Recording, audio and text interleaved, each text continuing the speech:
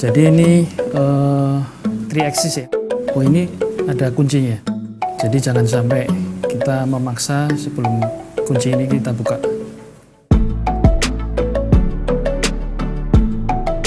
Halo MBTech Lovers. Sekarang uh, kami di MBTech TV channel dipersenjatai oleh senjata baru yaitu DJI Ronin SC. Seperti ini. DJI Ronin SC ini merupakan produksi dari DJI yang mana kemarin yang pertama ada Ronin S kemudian yang terbaru adalah Ronin SC jadi perbedaannya Ronin S dengan Ronin SC adalah Ronin S untuk DSLR dan mirrorless sedangkan yang Ronin SC ini hanya untuk mirrorless. Jadi kapasitasnya hanya 2 kilo. Coba kita lihat ya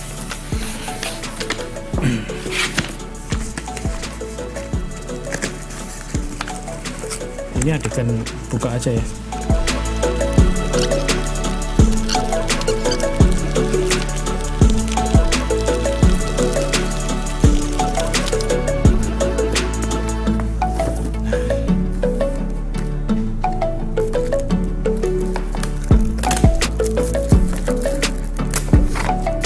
Ini garansi PAM satu tahun garansinya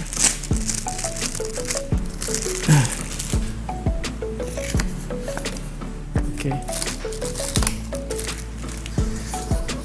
Ini mendapatkan tas atau cashback uh, dari busa ya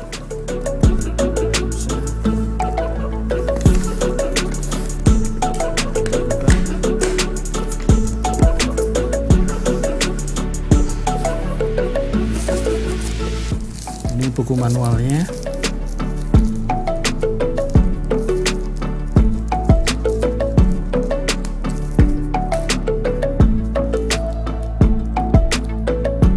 Kabel datanya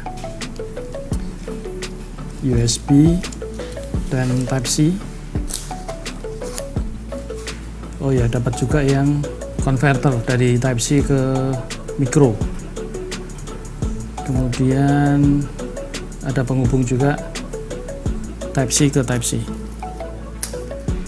Terus ada peralatan kunci L dan beberapa baut. Untuk bracketnya nanti. Kemudian ini bracket untuk phone holder ya. Untuk handphone nanti. Phone holder ini ada tripod untuk menyangga lensa. Ini bracketnya. Bracket untuk kameranya. Bracketnya ada dua. Bracket kecil sama bracket besar. Bracket kecil sama panjang. Jadi mungkin ini kalau uh, kita pakai kamera yang lebih panjang nanti bisa menggunakan tulang tripod ini untuk menyangga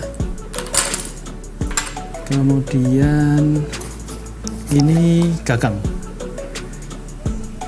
Gagangnya termasuk di dalamnya ada baterai. Baterainya diklaim 11 jam. Nanti kita coba. Terus ini tripod. Oh, tripodnya gede juga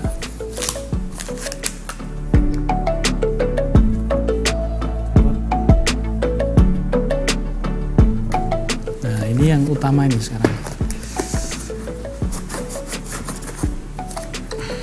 Yang utama dari DJI Ronin gimbal. Jadi ini uh, axis ya.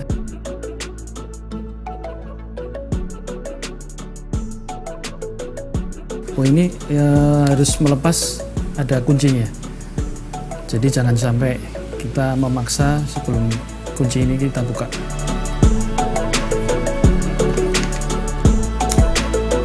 Ini kunci satu. Kemudian ini kunci dua.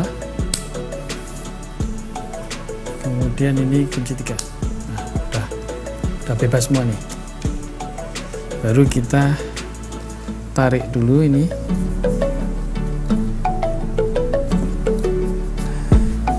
ganjelnya baru kita bisa seperti ini.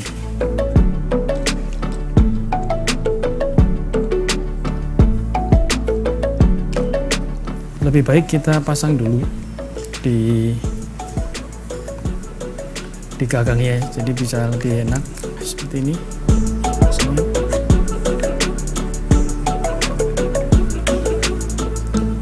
Ini juga ada kuncinya gagangnya kita harus lepas dulu kuncinya.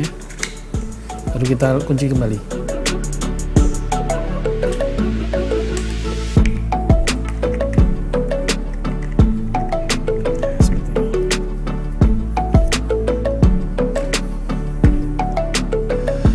Besar ya. Kalau dibandingkan dengan senjata kita yang lama DJI Osmo 2 ya kita punya yang sudah ada kameranya kalau ini eh, nanti kita akan pasang ke mirrorless. Eh, sebenarnya agak kalau pertama kali melihat agak sulit ya untuk eh, posisi yang benar yang seperti apa. Tapi kita bisa lihat di sini ada tulisannya Ronin. Di sini ada tulisannya Ronin. Jadi yang benar ya pasti nggak terbalik seperti ini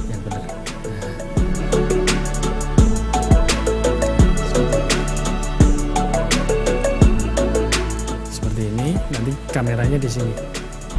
Kita juga kemarin beli Sony Alpha 6400 sebelumnya kita pasang dulu. Bracket kecil dulu kita pasang. Kemudian bracket besar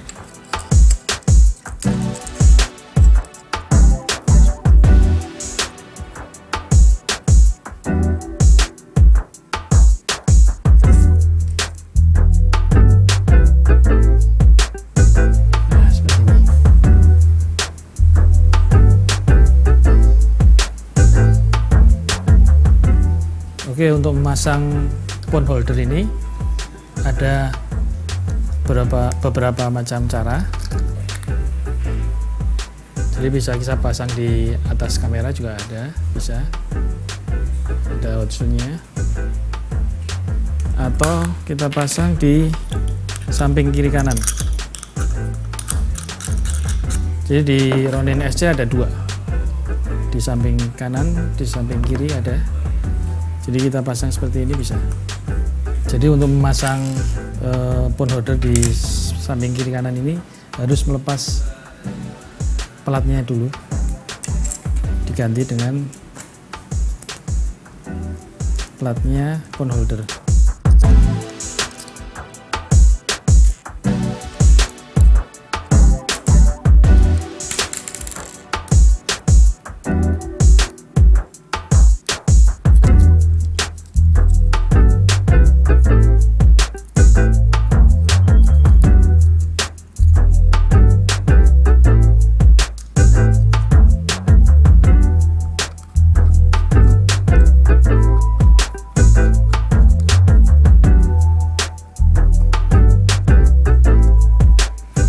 Oke tadi sudah memasang bracket untuk phone holder seperti ini bisa kiri dan kanan dan harus melepas dulu uh, plat yang ada di kiri kanan ini. Oke kalau melihat ini review saya cukup bagus ya uh, penggunaan bahan dari Ronin SC ini. Ini terbuat dari perpaduan magnesium baja plastik dan aluminium. Terus eh, bobotnya juga lebih ringan daripada Ronin S. Sekitar 1,1 kilo. Kemudian kapasitas untuk mengangkat mirrorless ada sekitar 2 kilo maksimal. Kemudian di sini ada beberapa fungsi ada joystick eh, ada indikator 1 2 3 nya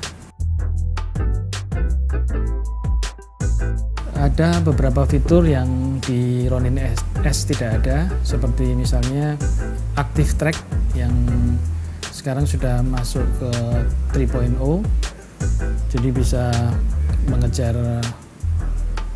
atau mengunci objek uh, yang akan di shooting fitur berikutnya adalah force mobile. Jadi fitur force mobile ini kita bisa menggerakkan gimbal melalui handphone dan melalui koneksi bluetooth. Jadi eh, sekitar jarak 25 meter kita bisa menggerakkan dengan berbagai macam fitur eh, di gimbal tersebut. Demikian dari saya. Mungkin eh, review untuk unboxing dari DJI Ronin SC ini berikutnya kita coba untuk uh, syuting atau memproduksi segmen-segmen MBTech TV menggunakan alat-alat ini semoga uh, bisa lebih baik untuk penyajian maupun uh, konten kepada para pemirsa pecinta MBTech TV. Terima kasih.